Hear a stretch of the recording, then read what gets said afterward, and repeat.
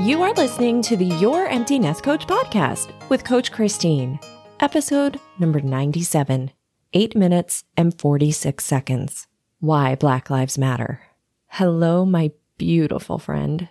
Normally on this podcast, I share coaching tips for women freaking out about the empty nest ahead. This is my gift, my passion, and what I do. But today, this episode is not about empty nesting. It is about the current happenings in this world. You can choose to think this is a political episode and walk away right now. I can't change that, and I won't let someone's potential thoughts about me impact who I show up as today on my platform, the platform I have created. Also, if you decide that what I'm speaking about means anything other than what I say in this episode, that is your thought about me. And yes, your thoughts about me are outside of my fence. The information in this episode is not sugar coated and contains sensitive content. I will leave it at that, and you do what you will. Links to everything I mention in this episode will be available in my show notes. The Black Lives Matter movement isn't political. It is human. Nothing that I teach is meant for you to use as an excuse to take no action. Actually, quite the opposite. I'm all about momentum in your life. Simmering isn't inaction. Simmering is providing yourself the space to figure out what action to take. I can't control you and I wouldn't want to. I coach on how you can consciously work your way to the best action for you and future you. The action you take is always within your control. The action that you take isn't due to what someone else does or says. It's purely on what goes on in your head based on your life's happenings. So make sure, my friend, that you actually choose something. For me, I've seen the happenings outside my fence recently and over my lifetime that have caused me anguish. I've felt sadness, still do. I've felt anger, still do.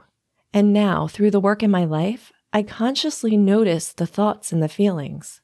I'm not on autopilot anymore, and I'm choosing not to allow the happenings outside of my fence to keep me quiet. I've done the self coaching work to move my emotions around to love. Love is more powerful for me. Love contains hope for me, and I love my fellow humans. My way of taking action may not look like yours. I won't spend my time and energy on worrying about what you do with this message. That's for you to figure out. I'm choosing to spend my time in love. Love drove me this week to unwhitewash my Instagram feed. I'm ashamed, but my feed looked a lot like the high school I attended. It still does, but I'm working to correct that for those who graciously allow me to follow them. Love drove me to listen and find ways to support the cause outside of protesting. Until I can, there are other ways to help. One example is you can support Campaign Zero, the comprehensive platform of research based policy solutions to end police brutality in America. Sure, you can donate money, but you can also donate your time and help them with research. What better way to educate yourself? Love drove me to create this episode. Why Black Lives Matter. The sad truth is that Black lives have continually been shown through actions of others that their lives don't matter.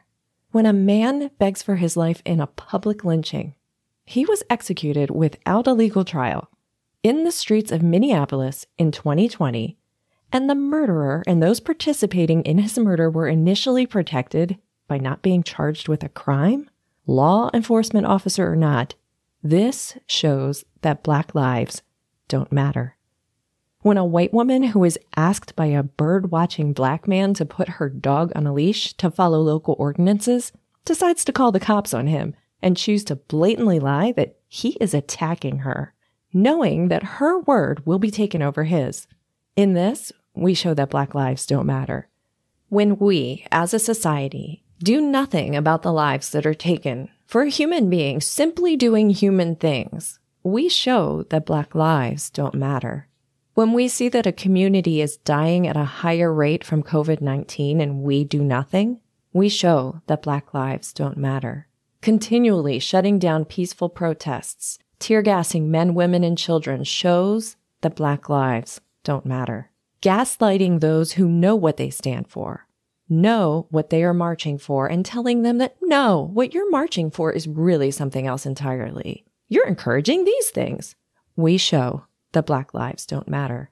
Look, Black Lives Matter is a freaking cry for equality. It isn't about taking anything away from others. It's a cry for someone, those who have the power to do something, to listen and to take action. I'll be honest, I can't stomach watching the video of George Floyd's murder. Personally, I can't imagine that anyone could watch it in part or full without wanting justice. I'm a mother, and when I see George Floyd on the ground in the glimpses of videos and photos, I see a man begging for his life. I also see four awful law enforcement officers treating him like gum on their shoe. I clearly see a message that Black lives don't matter. It breaks my heart the reality that Black mothers have. They have to teach their children, boys and girls, how to respond properly to a police officer in order to make it home alive. I don't know about you, but I didn't have that lesson in my home. The fear that Black parents have for their children and our lack of concern over it, that shows that Black lives don't matter. How well, my friend, do you do when no one listens to you? When you try everything possible to get someone to hear you and no one listens. Better yet, they tell you stop being so loud and angry. Yeah, that feels good, doesn't it? I am happy to report that over the last few days, while I assembled this episode, the protests have happened in all 50 states, and that all four officers involved in the murder of George Floyd have been charged. This is progress, but we aren't done. We need a world where it doesn't take more than a week of protests in all 50 states to see the beginning of justice. Keep in mind, too, watch the media and you'll think that all protesters loot and riot. Watch the media and you'll think that all cops are bad. Search out the Flint, Michigan moments and use those to drive you forward. There is a lot more peace in the world than we are shown in the media. And please, my friend, don't forget to vote. Many law enforcement roles are brought in at a local level. If you can vote, use your voice there and look at the system and who it benefits. I certainly won't begin to pretend that I have always done well with this. I, I know I haven't, and for that, I am sorry. I still have a lot to learn, but I am done not using my voice. I am here to serve, even when stumbling. As a side note, and an important one, if you are okay with what happened to George Floyd, please don't bother purchasing my offerings. My membership group is a safe space for all. My amazing listener, I invite you now to hear the two beautiful voices of Valerie Albarda and Tiana Morton, who have agreed to share thoughts they shared with us on Instagram this week. Thoughts that I feel need to be heard. Tiana is a teacher, social justice and equality advocate, and mother to a black boy in America. Valerie is the host of Midlife A Go Go podcast. If you remember, she and I had a lovely conversation on her podcast in March. She's absolutely lovely. I only wish we had our conversation in person.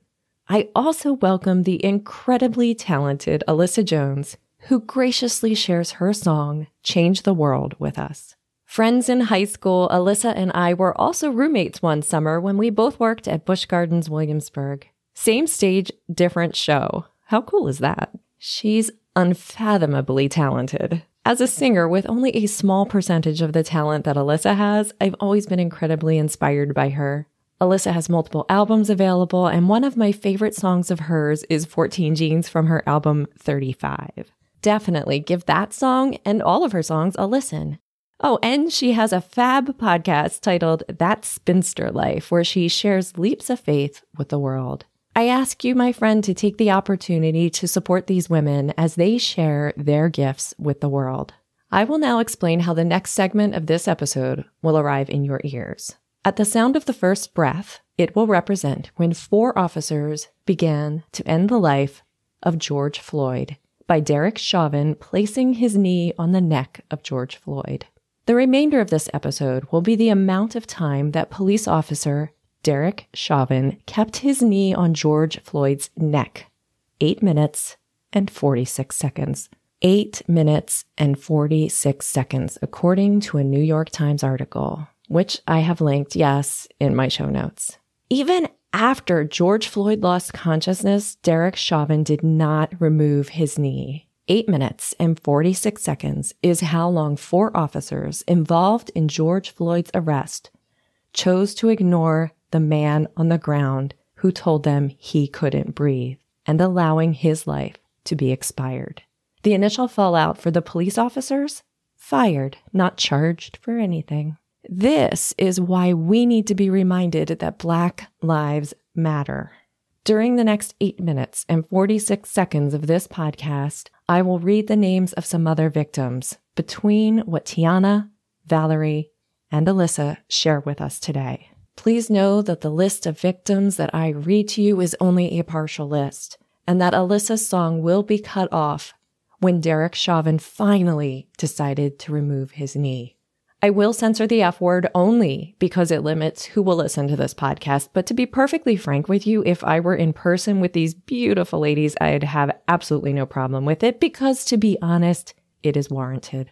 Thank you to Tiana, Valerie, and Allyssa for sharing your voices with us today. This next segment, my friend, is why we need to be reminded that Black Lives Matter. I ask that you listen to it in full without speeding up the audio. Thank you. George Floyd, 46, 2020. I'm a black woman in America. I have black nephews in America. Ask me what really scares me. I have two nephews. One is in his 30s and the other one is nine years old. In fact, he just turned nine two weeks ago. I fear for both of them. Let me repeat that. I fear for both of them. In this day, this year, this decade, this world, the life of a black person seems to count for so little. That seems especially true for a black man, but really, this is about being black in America. In the midst of a pandemic, we're dealing with stuff that should have been squashed decades ago. Anyone who thinks racism doesn't exist in this country has their head firmly stuck in the sand. If that's you, I hope you're enjoying the view. My view is different. As a black woman, I see the looks. I hear the words whispered under breaths. I could get angry. Shit, I do get angry. But I won't be baited into being the angry black woman that society has painted me and other black women out to be. But you know what? We have a right to be angry. We have a right to raise our voices, either alone or as a collective, because what's happening to us is appalling. And I'm scared.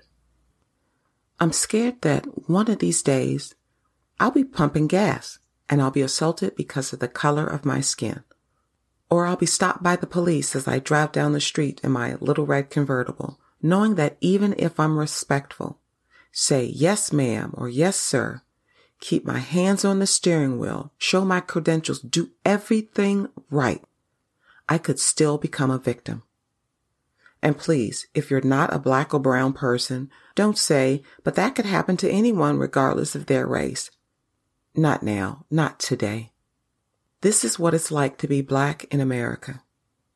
I'm afraid for my nephews and for myself and for my family and for every other black or brown person in this country. My fear is palpable. How long must we be afraid to leave our homes? How long? Breonna Taylor, 26 years old 2020. Trayvon Martin, 17 years old, 2012. To my black son, when I look at you, I see how beautiful you are. I know that you are incredibly sweet and thoughtful. I know that you are willing to extend generosity and grace to everyone, even when they are less deserving. I've watched your smile and energy light up an entire room. I've watched your tears flow and your head hang low when you see a homeless person or someone in need. I've witnessed you in deep thought, figuring out how you can make a difference in the lives of those around you. I know just how much physical confrontation scares you and how you run home because you know where your safe place is. As your mom, I want to protect you from life's heartbreaks, but there is one thing that I cannot protect you from. The one thing that I fear most. As a mother of a black son in America, I wish I didn't have to strip you of your innocence at such a young age. I wish that our reality wasn't sitting in our living room after dinner, rehearsing different scenarios and training you on how to make it back home alive after an encounter with police, all while wiping your tears because you can't fully understand. I wish I could protect you from how the world sees you. I often think, what happens when, wow, he's only 10? He's big for his age, turns into, that's one big ass black dude. What happens when the son I know becomes a threat that they don't? What happens when you can no longer run home? Every day, I let you walk out that front door. I pray that I've given you the skills to handle any situation you encounter. The lessons will change as you grow. But what else can I teach you right now? Because your blackness will never change, but will always be challenged. The best thing I can do is fight to change that always to never. Son, until I can honestly say your blackness will never change and never be challenged, I will fight for you. I will fight for us. I want you to know that you are not less than. Your blackness is not a crime. Your blackness is worthy. Your blackness is beautiful. Your blackness is powerful, regardless of what this world tells you. I will fight for you. I will fight for us. Love you most, Mom. Tamir Rice, 12 years old, 2014. Eric Garner, 43, 2014.